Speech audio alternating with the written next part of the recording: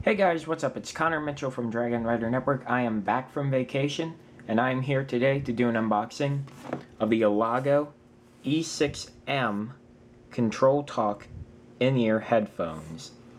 Elago was kind enough to ship me a pair of these free for review, so anyway, let's get started.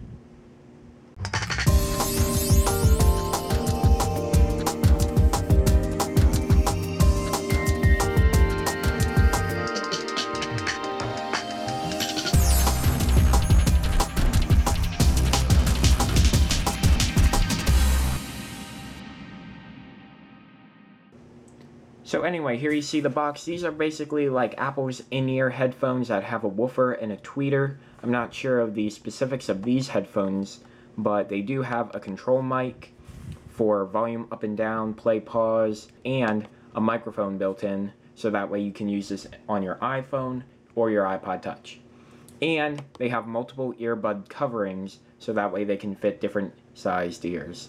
So anyway, let's get started and let's open them. So this is basically it. You see the real headphones right here. On the back, design is an improvement. And it's a 5 on recycle. Not sure why I said that, but okay. Let's open.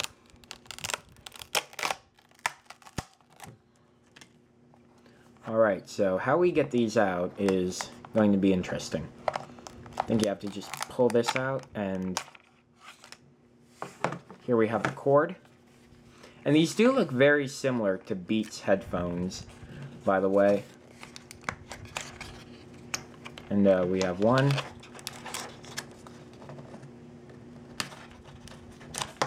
We have two. And this right here.